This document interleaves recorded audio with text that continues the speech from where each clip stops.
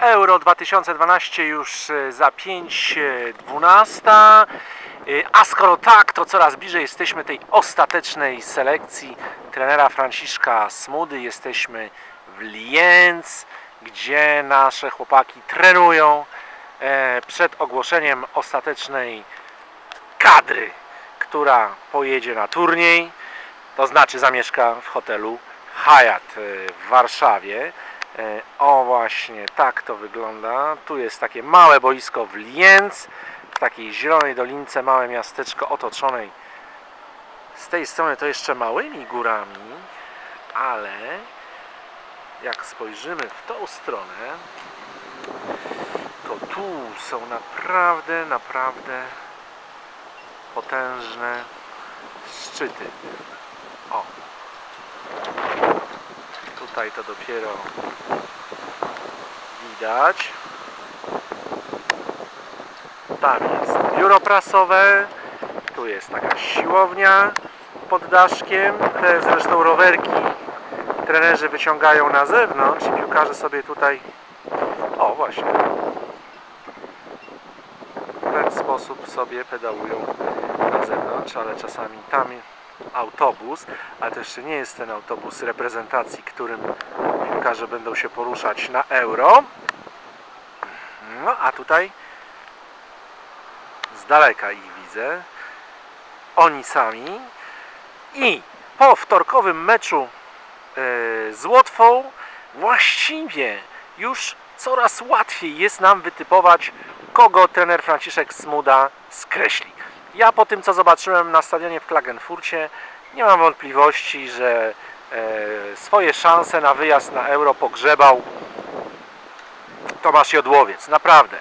Sporo błędów na środku obrony, yy, zmieniony przez 20-letniego Marcina Kamińskiego i myślę, że prędzej to młody Kamiński znajdzie się w tej szerokiej 23-osobowej kadrze niż zawodnik Polonii, przez co niestety nie dane mu będzie trenować na Euro na własnym stadionie, chociaż nie wiadomo jak długo w Polonii. Właśnie rozmawiałem o tym dzisiaj nawet z Adrianem Mierzejewskim, który strasznie ubolewa, co się z jego drużyną yy, dzieje. Mm, Po pierwsze Jodłowiec, po drugie nawet nie po wczorajszym meczu mm, z Łotwą, ale po końcówce sezonu, w której mimo zmiany klubu na dużo gorszy, na e, fortunę e, drugoligową, dziś już pierwszoligową w Düsseldorf, e, Adam Matuszczyk. Mm, ja wiem, że on jest takim ulubieńcem e, Smudy, ale tych ulubieńców jest więcej i oni, mimo że też nie są w formie e, na taki wielki turniej, a mam tu na myśli Sebastiana Benisza, raczej myślę, że, że, że postawi Smuda na Benisza, zwłaszcza, że nie ma lewych obrońców, dwóch musi zabrać. Obaj no tak nie do końca mnie przekonują. Ani e, Kuba Wawrzyniak niestety nie w formie e, z końcówki sezonu e, z Legią, ani Sebastian Benisz, ale jako, że Benisza to Smuda namówił na przyjęcie polskiego obywatelstwa, na wyrobienie paszportu, na deklarację, że chce grać u nas i dla nas, myślę, że jego zabierze. Mimo kontuzji Benisz przyjeżdżał na, na kadrę, Smuda go promował, Matuszczyka też, ale umówmy się, no, Matuszczyk jest tej kadrze o wiele, o wiele mniej e, potrzebny niż, e, niż Benisz, który niestety jest daleki od tego Benisza mm, debiutującego w reprezentacji Polski. E, jakiś taki nieruchliwy, ospały. Nawet mieliśmy wrażenie mm, podczas meczu z Łotwą, że może nawet odrobinę tęgi.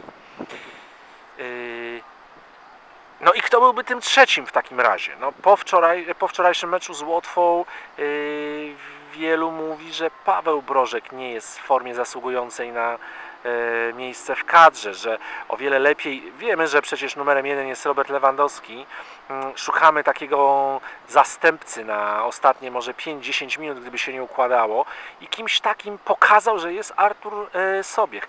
Yy, dostał o wiele mniej czasu niż yy, Brożek, a zrobił to, co do niego należy, tak jak to robił e, wielokrotnie w Hanowerze, ratując e, Ligę Europejską e, dla tej drużyny. Przed dostał świetne podanie i je wykorzystał. I o to tylko chodzi. No, napastnicy są rozliczani z goli, więc może mieć ten, e, ta bramka mm, wpływ na decyzję Smudy, ale ja nie wierzę, e, to znaczy na decyzję moim zdaniem jeśli chodzi o ustalenie hierarchii, to znaczy jest mecz otwarcia, wychodzi Robert Lewandowski, wchodzi z ławki Sobiech. Natomiast jestem pewien, że Brożek pojedzie, że znajdzie się w tej 23-osobowej kadrze.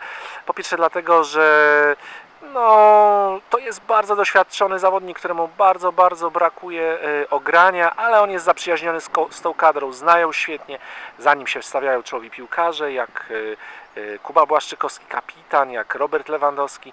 Myślę, że on na Euro pojedzie, a Smuda skreśli Michała Kucharczyka, który niestety troszkę jest tak tutaj y, y, a to wysyłany na prawą obronę, a to na skrzydło jak w Legii. Y, Niedobrze mu to służy. To jest przecież nominalnie napastnik, tylko że w kadrze Smudy y, nie miał szansy y, pokazać się nawet na tej pozycji. Już szansy mieć nie będzie. Przed nami mecz ze Słowacją.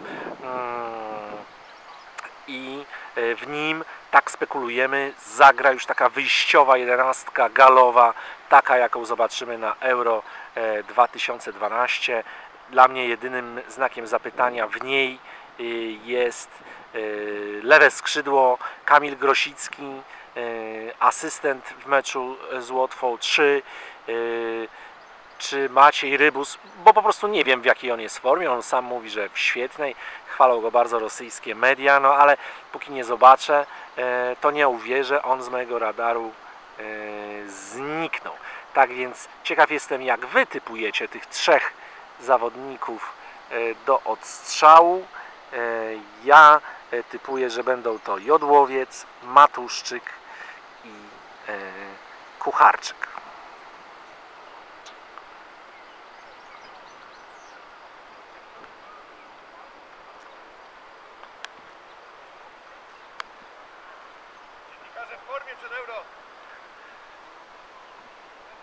Sergiusz. Mamy ją w Lincu.